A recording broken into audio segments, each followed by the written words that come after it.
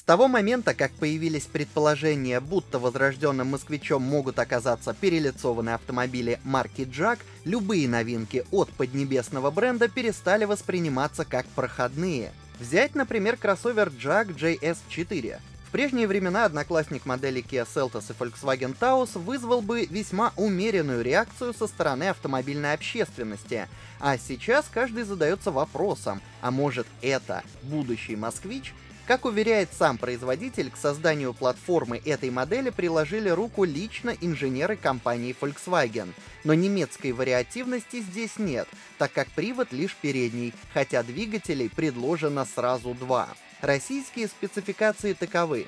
С базовым 120-сильным атмосферником дружит только механическая коробка, а полуторалитровому турбомотору можно будет заказать вариатор французской фирмы Punch. Начальная комплектация предложит фронтальные подушки, систему стабилизации, кондиционер, аудиосистему, круиз-контроль, задний парктроник, датчик света и 17-дюймовые колеса.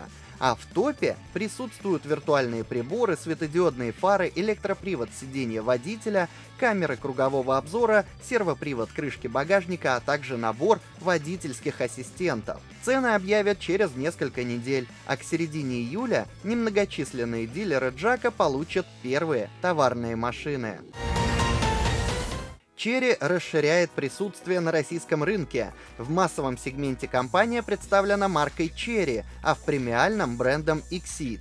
Вскоре четко между ними встанет Amoda, которая будет представлена кроссовером Amoda C5. Этот паркетник является одноклассником моделей Nissan Qashqai и Skoda Karoq. Китае модель оснащается турбомоторами разного объема, но привод только передний, а коробка исключительно роботизированная. Со временем гамму дополнят второй кроссовер и седан. По планам московского офиса Cherry, эти новинки прибудут до следующего лета, и не исключено, что под брендом Amoda заявятся существующие модели Cherry. Что касается самой новоиспеченной марки, то буквально через месяц-другой ее дилерами планируют стать сразу 100 шоурумов по всей стране. Притом обещано, что эти китайцы станут достойной заменой японцам и немцам. И такое вполне возможно. Китайская пресса очень комплиментарно отзывается об Амоде C5, а какой будет российская цена, мы узнаем совсем скоро.